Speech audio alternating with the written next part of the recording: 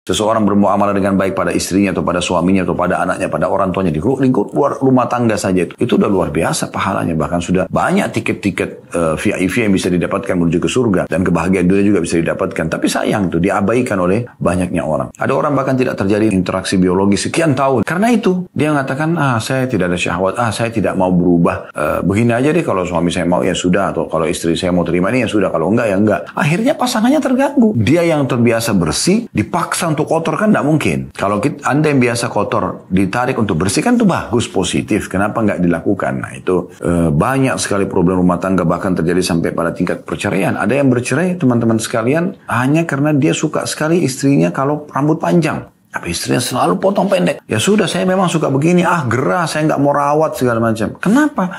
Kenapa bersikuku? Bukankah ini suami Anda? Cuman satu laki-laki ini yang Allah Subhanahu Wa Taala perintahkan Anda untuk berbakti sama dia, untuk bercengkrama dengan dia, yang halal sama dia. Gak ada poliandri dalam Islam. Lalu kenapa dirusak hubungan sama dia? Bukan ridho Allah sementara ada ridho suami? Itu juga dengan laki-laki. Allah Subhanahu Wa Taala mudahkan walaupun terbuka pintu poligami. Tapi kalau Anda monogami, saya punya satu istri pun, apalagi kalau Anda punya uh, poligami, amanah cukup banyak. Nah sekarang hanya inilah orang-orang yang bisa Anda nikmati. Kenapa Anda tidak maksimalin waktu bersama mereka, eh, penampilan dan segala macam.